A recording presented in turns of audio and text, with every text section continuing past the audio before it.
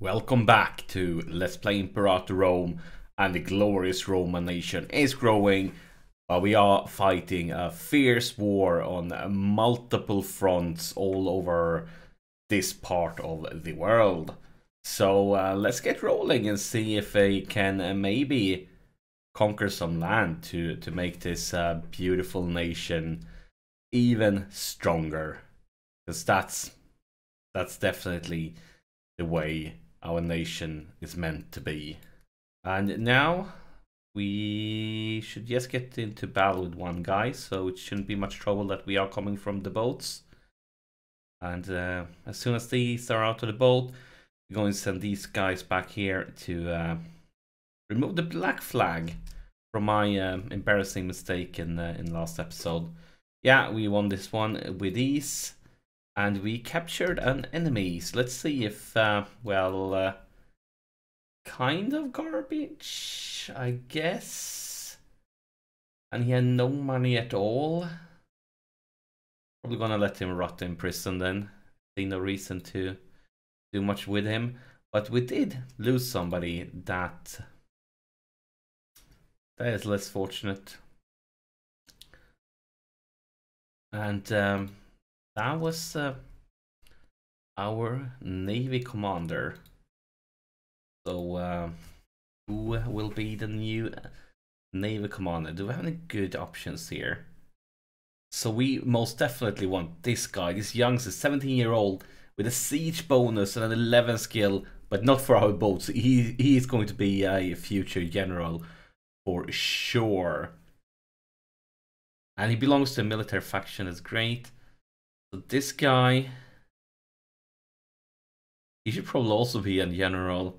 He's from a Scorn family, and he's high skill, and he has a pretty decent bonus here with. But at the same time, we don't have much of these uh, and heavy cavalry right now, so not not for now. We um we have quite a few options here. Nobody with a boat bonus I think we should go for these uh, bigger guys. And uh, big, I mean, these guys are from the same family. I think I'm gonna take the old guy. And then maybe we can bring uh, the youngster to um, to an army.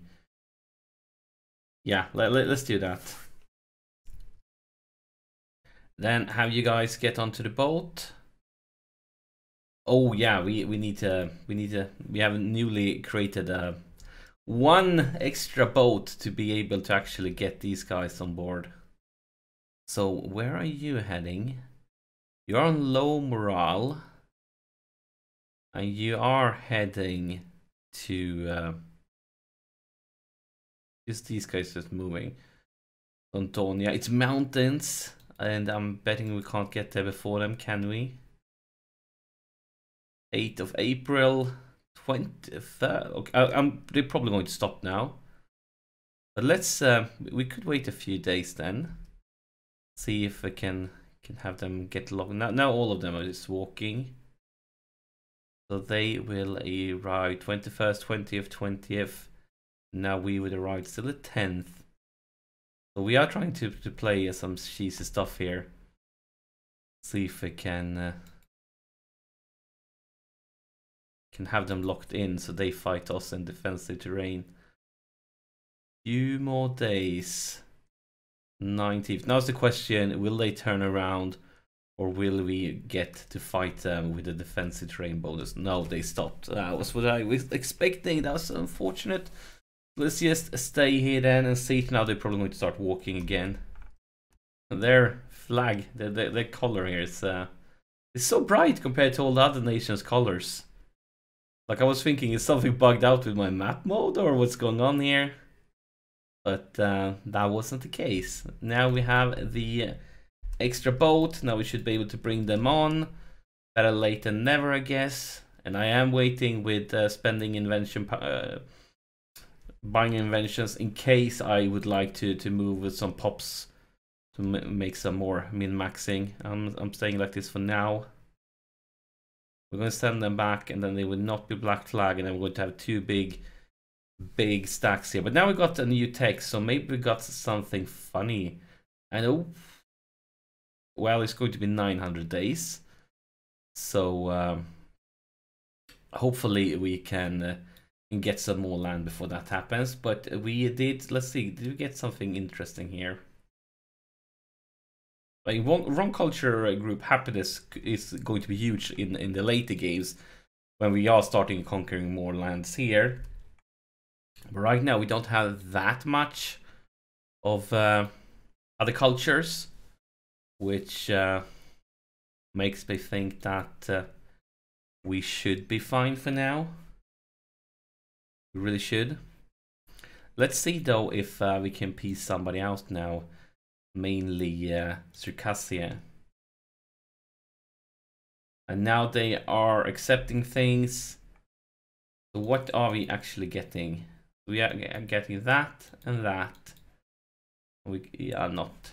Yeah, wait. So if I just click these, yeah, I think I'm gonna leave this city to them.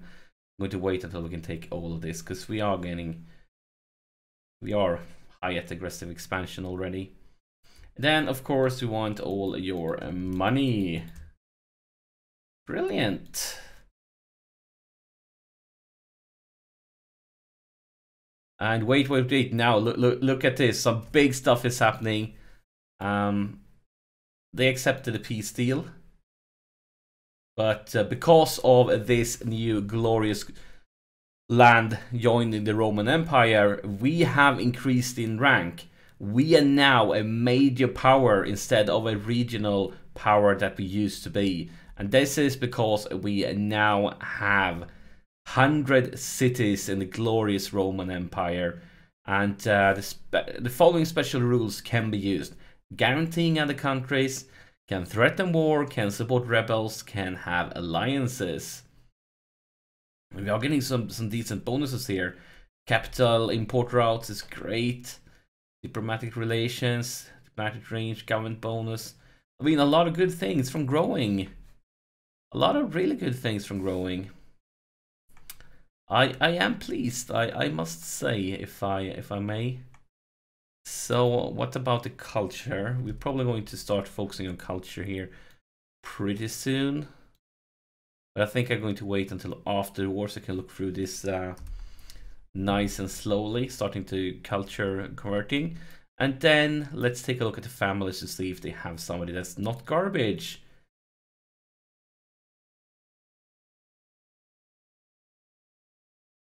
still so early in the game, so all, all the kids are so young. Uh, I'm used to play like from, from other saves I played. Ooh, an 11! And he's only 46. I see, um, I see some potential here. I mean, for being 46, it looks more like 60, but an 11 I like it. It's religious faction. Maybe not great. Does they have any good... Oh, look. I mean, we don't have any camels. I get that. That wasn't too exciting. We clearly can't having as a ruler. Will, will give us more expensive. Will give us more uh, aggressive expansion. Loyalty gain chance. So we will lose loyalty if it's the commander. Governor. I mean, with an 11, he's only 46. We, we need to take him. That That's too good to pass up on. So you are welcome to the Roman Empire. And the rest of the guys, well, you're going to be crucified. And now let's see ASAP if uh, if we want to use him in any way. So the military one right now is a level 8. That's not much. We could replace the 8 with these this new 11 guy, and I think we are going to do that. Because that's a huge difference, and we didn't want him as a general because of some bad stuff, I think. You always bring him back if we need a stronger general. So let's assign him. Boom, a lot more military tech is coming in. Do we have any... Uh, other guys that needs to be uh, replaced? I don't think so. We could, that was a slight thing we could change, but uh, let's see. What? A five? Really? Um, here we probably would like to have a uh, a military guy because this role gives uh, Senate influence. Do we have anybody for, from that is uh, a military? I think. I mean, we don't even need that high of a skill. It's not. I think we're gonna go with this. Uh, where was say this uh, military guy? Let's give them some more influence. And we have an eight here, and that is our faction leaders. We probably want him to have a job, even though he's uh, only an eight. I'll I'll say. So I think I believe we're going to keep it like this. No, we are going to bring in a slightly stronger one here, just because he's scorn. So yeah, that was some uh, some min maxing going on. Let's get back to increasing our glorious borders before uh, the game decides that we are going to get a piece, no matter if we want it or not. So you guys jump over here. Should be no longer black flag, and of course we got another trade route in the capital from becoming uh, more uh, big, fancy. So uh, of course, this this is a problem we have with. this is almost a little bit funny because um, people don't seem to like us much. They don't seem to like us much at all. But maybe they, maybe they, they pick up any surpluses down here in our new provinces. Maybe we have some wine, we have some wood down here. So we could be trading with uh, with other parts of our nation. Weird that we, we can't do that. Maybe the game hasn't updated from the peace deal. Just going to wait a little bit longer, see if uh, if something pops up when uh, when the monthly tick has been. Now these guys are no longer black flag. Let's get back on the boat and then get back over the pond. Now let's uh, check if uh, if we can uh, do some uh, internal trading. Way that we can't. We really should be. Are they disloyal down here?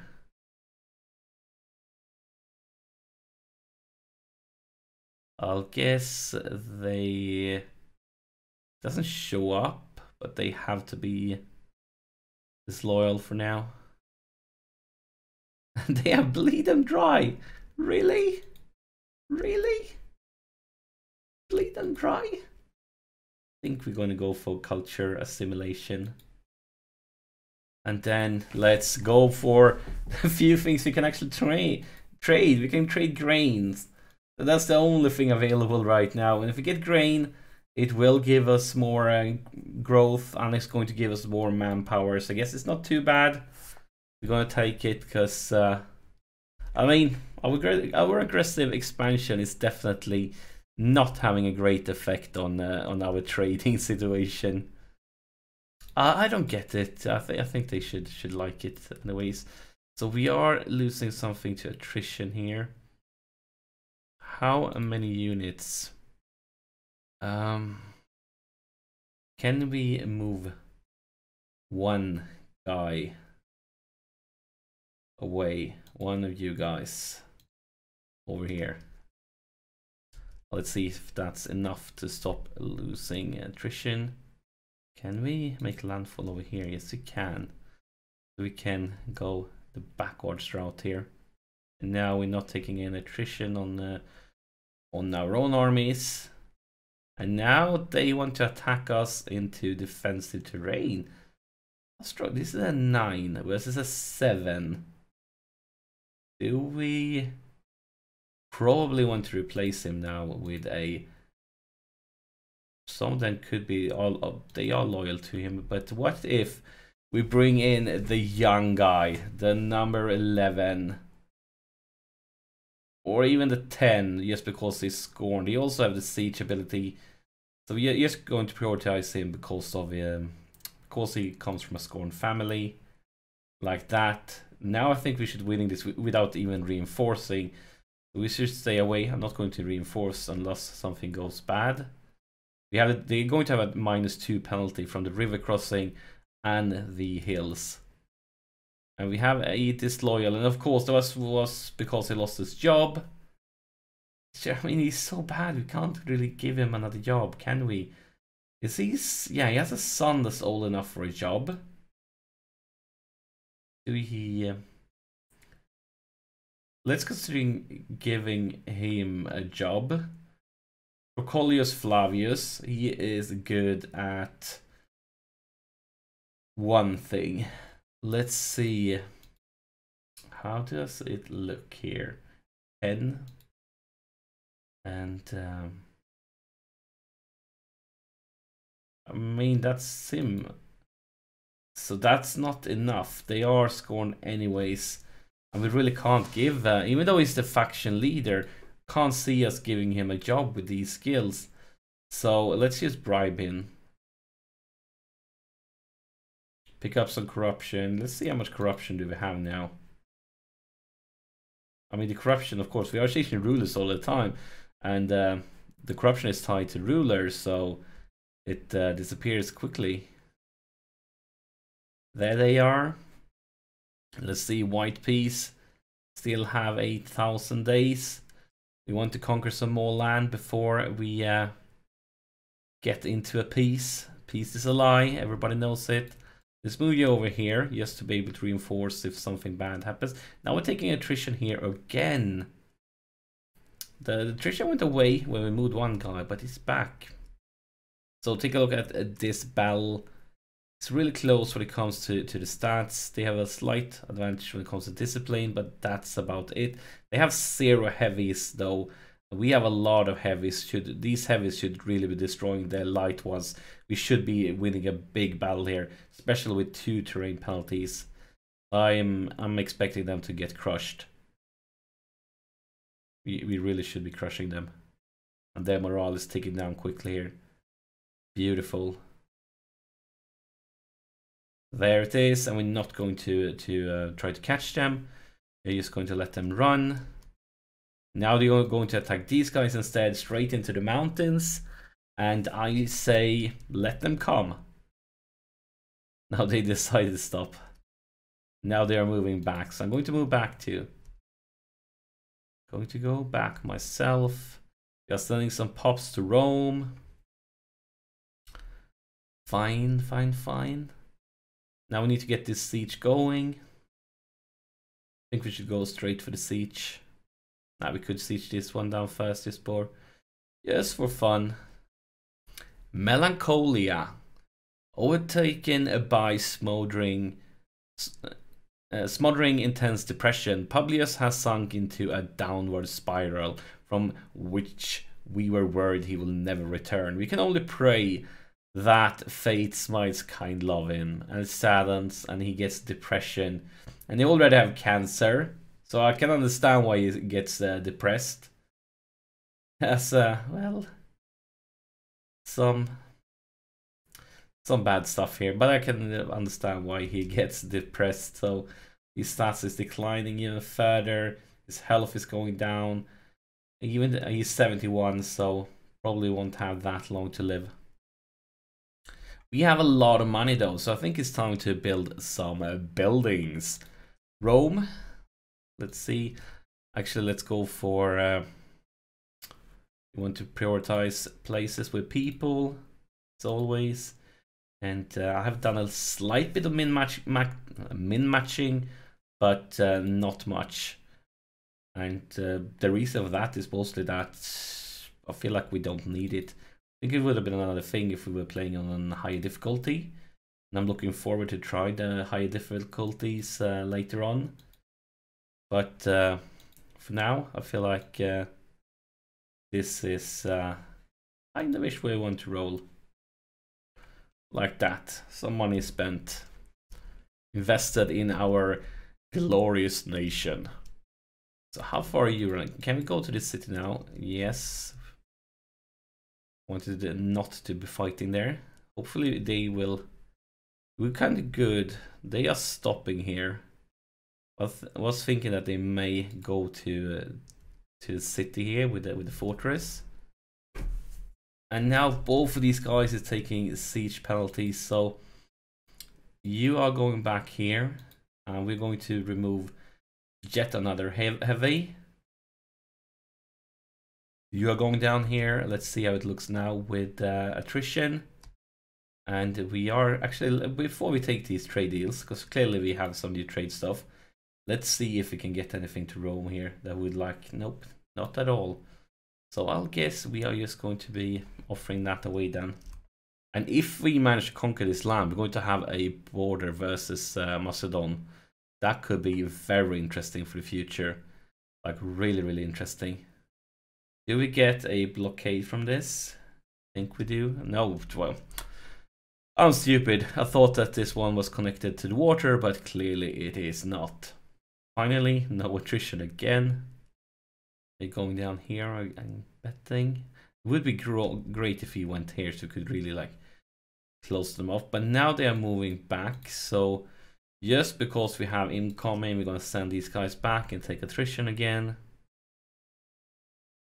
But these guys will be moving forward trying to catch uh, these. Even though always farmland, so they're not even going to get terrain. We have a decent leader also for the uh, the mercs.